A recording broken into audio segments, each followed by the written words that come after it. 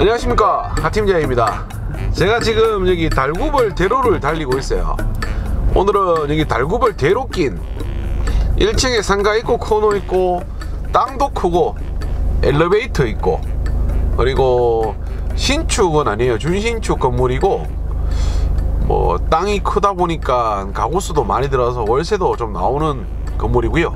어, 이분도 유튜브를 보시면서 연락을 주셨더라고요 자기가 이제 요거를 좀 정리를 하고 좀 편하게 상가를 하나 관리가 어렵지 않은 뭐 단층 상가 같은 거한개 사서 편하게 좀 거주하시고 거처를 옮기고 싶다 하셔서 매매를 결정을 했다고 하십니다. 여기 사시면서 어 화원에 가지고 있는 땅도 보상도 받고 국가산업단지로 지정되었지 않습니까? 그리고 여러모로 또 일이 좀 잘 풀리신 것 같아요. 그런 점들을 이렇게 풀이해 주시는데 어, 정말 잘된 일인 것 같다고 같이 말씀을 이제 말을 이어가면서 제가 보러 가겠다 하고 지금 가고 있는 길입니다. 여기 달구벌 대로가 감삼동 그리고 용산동이 있지 않습니까? 예, 용산동에 위치한 건물이거든요. 그 현장 가서 한번 보여드릴게요.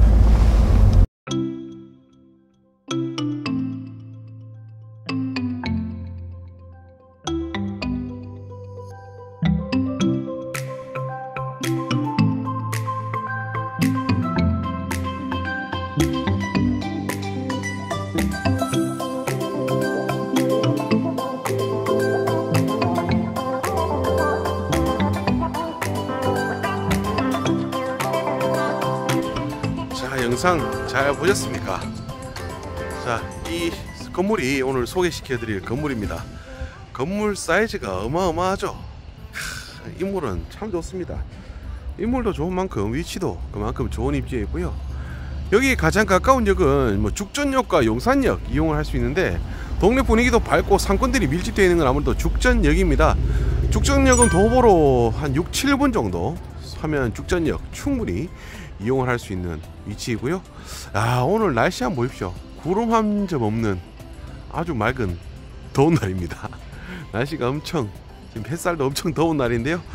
날씨가 이렇게 또 좋다 보니까 이 건물 전면이 넓은 게 아주 시원하게 보입니다. 이 건물은요 1층에 상가로 그리고 2층, 3층, 4층 그래서 주택으로 구성이 되어 있는 상가 원룸인데요. 원룸과 3룸 그리고 주인 세대로만 구성이 되어 있고 총 17가구나 들어가 있는 건물입니다. 제가 이 건물을 영상을 앞전에 보셨다시피 먼저 촬영을 했는데요.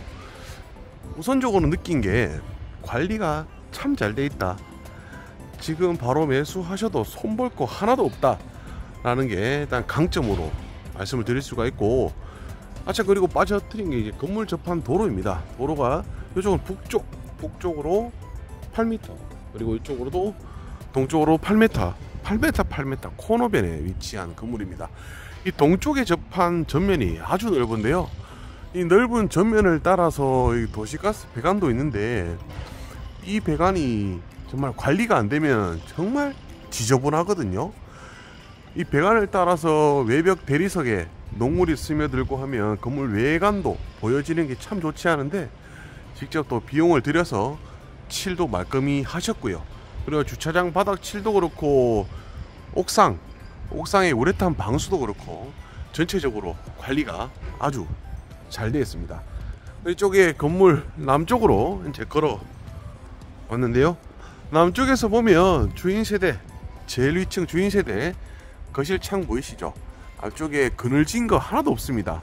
이 동쪽과 남쪽을 비교해 보면 채광 받쳐지는 게 다르죠. 남쪽도 채광도 잘 받고 있는 금방 또 건물 환기도 아주 잘 될 법한 그런 내용의 건물로 보여집니다. 자 그리고 일단 주인 세대 주인 세대와 건물 내 현재 어제 이사를 나갔는 원룸 공실이 하나 있다고 합니다. 거기 세대 뭐 보여드리고 건물 내용도 정리 한번 해드릴게요. 주차장은 이제 좌측으로 그리고 우측으로 그리고 정면 방향으로 주차 라인은 총 8대 주차 라인이 그어져 있고요. 주차장 바닥도 이렇게 크랙을 신축하실 때 크랙을 다 따놓아서 주차장도 크랙 없이 실금, 금간거 없이 아주 깔끔한 상태로 유지가 잘 되어 있습니다. 내부 한번 들어가 볼게요. 자 여기가 건물 내입니다. 어, 2015년도 중공난 준신축 건물들 중에 이렇게 엘리베이터 시공된 건물 참 찾기 힘들죠. 건물 엘리베이터도 설치가 되어 있고요. CCTV는 4개 채널로 운영이 되고 있고 현재 2층에 원룸이 하나 공실인데 마침 잘 됐어요. 잘 찾아온 것 같습니다. 원룸 하나 보여드릴게요. 원룸을 아무래도 영상에서 접할 수 있으면 건물을 좀더 어, 확실하게 꼼꼼하게 보여드릴 수 있는 점 저 또한 만족스럽고 구독자분들도 만족스러워 하시더라고요. 그래서 원룸은 여기 101호 원룸 현재 공실이고 나머지는 전부 다 임차가 되어 있습니다. 엘리베이터 내리면 엘리베이터 앞에 공간이 아주 넓어서 참 마음에 들고요. 그리고 주, 여기 주방 분리형 원룸입니다. 여기가 냉장고 기본 옵션으로 주방 옆에 위치해 있고 그리고 여기 주방 쪽에 화장실 있는 구조입니다. 주방에도 환기창도 하나 잘 빼두셨고요. 그리고 이제 이쪽으로는 방 방인데요. 방도 어우, 사이즈가 적절하게 잘 빠져 있습니다. 붙박이 장도 하나 시공을 해 두셨고 이쪽에도 세탁기 기본 옵션으로 설치가 되어 있습니다. 이쪽도 보니까 창을 열어 볼게요. 아 여기가 건물 북쪽 편, 북쪽 전면 쪽으로 이렇게 향하고 있네요.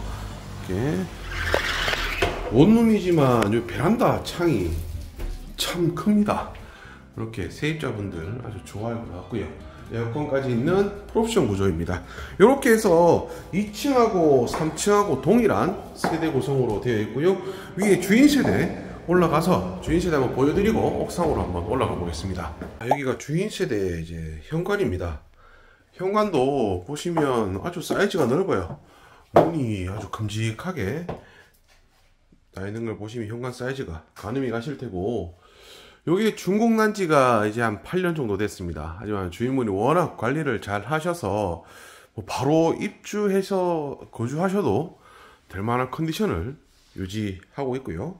바닥은 이제 좀 강화마루 시공이 되어 있고 천장도 지금 거실 천장도 우물 천장을 만들어 놔서 층으를 높게 보이기 위해서 인테리어를 이렇게 해 두셨고요. 그리고 이쪽이 남쪽입니다. 남쪽에 보시면 이제 용산자이 아파트 지어지고 있는 걸 보시, 보이시죠? 이제 남쪽 채광도 아주 잘 들어오고 안쪽에는 여기 주방 주방 공간인데요. 제가 지금 잠깐 양해를 구하고 이렇게 촬영을 하고 있습니다. 여기가 이제 안방 안방택이고 지금 짐들이 있고 장들이 있어서 뭐 그렇게 보일 수 있지 모르겠지만 방도 그렇고 거실 사이즈가 아주 훌륭합니다. 여기도 이제 작은 방 작은 이렇게 짐들은 뭐 그렇게 많지가 않기 때문에 그게 뭐 들어오셔가지고 크게 손보실 건 없을 것 같아요. 그래도 장도 붙박이식으로 하나 짜여져 있고 이제 화장실, 화장실도 여기 하나 어, 큼직하게 들어가 있네요. 여기 화장실도 있고 안방에도 화, 화장실이 한 칸 더 있고 그래서 방은 총 3칸, 욕실 2칸으로 구성이 되어 있는 주인 세대입니다. 옥상으로 제가 올라가 보겠습니다. 주인 세대는 잘 보고 나왔고요. 여기가 사이즈가 아래 층보다는 좀 더 큰 원룸들이 여기 4층에 위치했고 주인 세대는 이렇게 독채로 구성이 되어 있습니다. 엘리베이터 내려서 4층 복도 공간이 이렇게 있고 총 4개 호실로 4층 공간이 마련되어 있고요. 옥상 올라가는 쪽에도 어, 이쪽에는 사실 뭐 세입자들이 쓸 공간은 크게 없어요. 안 써요 이쪽 공간은. 이쪽 공간 대부분 주인들이 다 사용을 하시죠. 옥상 입구 앞쪽에도 이렇게 샤시를 하나 짜서 창고식으로 쓸 수 있도록 창고가 별도로 빠져 있고요. 그리고 옥상으로 한번 나가 보겠습니다. 자, 한 그래도 주인분이 옥상 올라와서 이제 문도 열어주고 하셨는데 옥상 올라와서 제가 딱 한마디 했습니다. 이 오래탄 방수가 너무 반질반질거리고 깨끗해서 눈부시다고 지금도 아직 눈부신데 그만큼 옥상 관리가 너무 깨끗하게 되어 있어요. 옥상만 보면 정말 신축 건물 같다라고 생각이 들 만큼 깨끗하게 관리가 잘 되어 있는 오늘 건물입니다. 주변은 이렇습니다. 저기 앞쪽에 엘리넷들 죽전동이죠. 그리고 저기 앞쪽에 이제 빌리브 메트로뷰 그리고 시티 시티파크고 그리고 빌리브 스카이 앞쪽이 죽전역이죠. 앞쪽에는 CGV 영화관이 신축이 되어 있습니다. 그리고 월드마크 삼전 그린코아 앞쪽에 신축하고 있는 거는 용산 자이 아파트이고요. 그 뒤쪽으로는 이제 성서라고 이어지는 곳이죠. 용산로 롯데캐슬 그리고 죽촌 오방 아파트 보이는데 저기 넘어가면 성서공단입니다. 성서공단 직장인들도 오늘 이 건물에 인도 수, 임대 수요자이고요. 그리고 바로 앞쪽 용산 여기 자이 아파트 앞에 바로 달구벌 대로입니다. 제가 영상을 시작해서 찾아오던 도로변이죠. 저기에는 엄청난 상업시설들이 밀집이 되어 있습니다. 거기 종사하시는 직장인 분들도 건물 임대 수요자라고 보여집니다. 아참 그리고 여기 역상에 여기 중계기가 설치가 되어 있는데요. 이 중계기도 1년에 200만원 정도 받고 있습니다. 자 그러면 이 건물 내용 제가 설명을 드릴게요. 상가 하나와 원룸 13개, 3룸 2개와 주인세대 총 17가구입니다. 대지는 338제곱미터, 건물은 623제곱미터, 대지구평수 한산시 102.2평, 건물 189평입니다. 건축 연도는 2015년 1월 8일 날 준공이 났고요. 건물 내 엘리베이터 설치가 되었습니다. 도로는 8m 8m 코너벨에 위치한 건물이고요. 현재 건물 매매가 25억입니다. 대출은 6억 있고요. 임대 보증금 어, 주인세대 현재 거주를 하시고 현재 임대 보증금이 2억 900만 원 현재 인수가 16억 9,100만 원 건물에 나오는 수익은 702만 원입니다. 은행 이자 6% 적용을 했는데요. 300만 원 제외하고 402만 원 수익이 나오는 건물입니다. 현재 수익에서는 이 중개기가 포함이 되어 있지 않은데 어, 달에 한 15만 원 정도 수익이 플러스 된다고 보시면 되겠습니다. 이 중개기로 건물 관리비 낸다고 생각하시면 되겠네요. 자 오늘은 여기 죽전내거리 역세권이 위치해 있고 대구 중심 달구벌대로 끼고 있고 여기 다양한 직장인 수요와 성서공단 수요를 끼고 있는 용산도 위치한 땅도 크고 위치도 좋은 매물 하나 찾아봤는데요. 어, 오늘 건물은 이제 인수 가격이 좀 높다는 점이 참 단점으로 꼽자면 그 점을 좀 꼽을 수가 있을 것 같습니다. 그런 부분은 금액 절충을 통해서 최대한 조율을 해봐 드리고 그리고 추가 대출을 통해서 인수하실 수 있는 부담을 줄여 보도록 도와드리겠습니다.